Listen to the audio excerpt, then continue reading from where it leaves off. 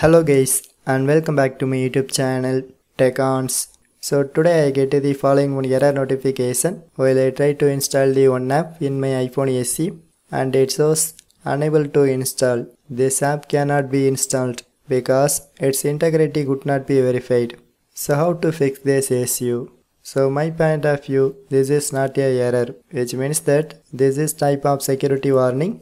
So for example, if you try to download any unwanted app from Google or any other web browser, this iPhone will block that app installation and also they showing this kind of message.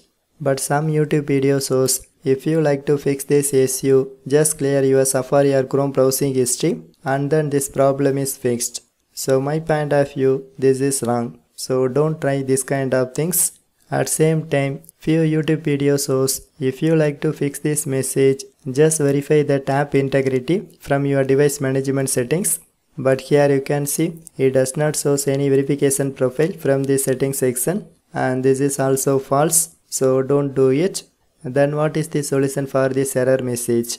So if you try to install the secure app, it asks for your access permission. So for example, here I try to download the one application from Google.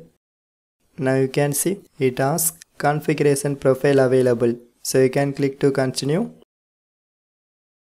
And it shows one more notification. This website is trying to download a configuration profile.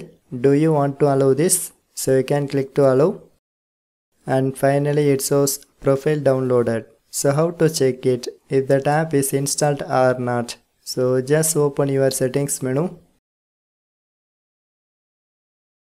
and go to general settings. So here you can locate VPN and device management and click to open it. And this is the tab profile. So simply tap on it. So if you like to install this Panda helper app just press install option. And sometimes they ask for your touch id or passcode. And this is for verification purpose. So just complete it so you can click to install and click to done and close all the windows. So finally you can see this is that application and this app is successfully installed in my iphone. So the conclusion of this video is if you get this message don't try to change any settings in your iphone or ipad. At same time it asks for your installation permission. So just install it.